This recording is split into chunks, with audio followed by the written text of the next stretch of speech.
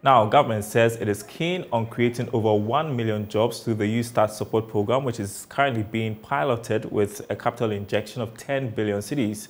According to the National Entrepreneurship and Innovation Program, plans are underway to equip young entrepreneurs to start small businesses.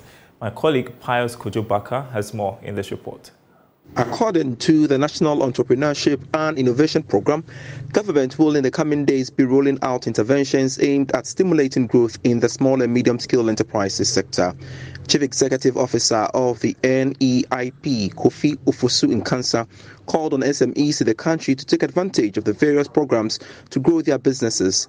He spoke to Joy Business on the sidelines of the launch of the Startups and SMEs Week. This support is even providing through programs like the Ghana Cares Youth and Innovative Agri program to focus on agriculture and agribusiness sector. YouStart, which is our flagship entrepreneurship support program for the youth, 10 billion package, which is expected to stimulate the private sector to create about 1 million jobs in the next three years.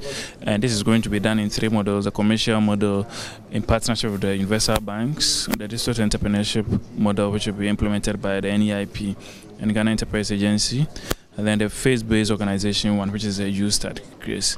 Uh, aside this, uh, agencies like the Ghana Enterprise Agency are rolling out a lot of entrepreneurship support programs, like the COVID-19 grant program under the Ghana Economic Transformation Program, which is supposed to provide grant uh, support for growth stage SMEs to enable them grow and expand their businesses.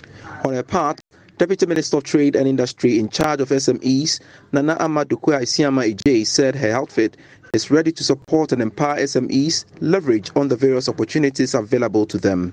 It is against this backdrop that the government, under the leadership of His Excellency Nana Addo Dankwa Akufo-Addo, has put in place strategic measures to ensure that one, 100 Ghanaian companies are supported with various forms of assistance to export under the AFCFTA to the rest of Africa, duty free, quota free. The implementation of the program is being coordinated by the newly established National AFCFTA Coordination Office here in Accra.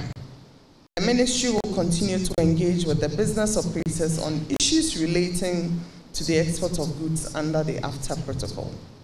Two, the teeming youth, who are over 60% of our population, are better educated and equipped for the job market. The Ghana Startup SMEs Week, which is under the theme Innovation, Collaborate and Invest for Greater Impact, will go on till November 2022.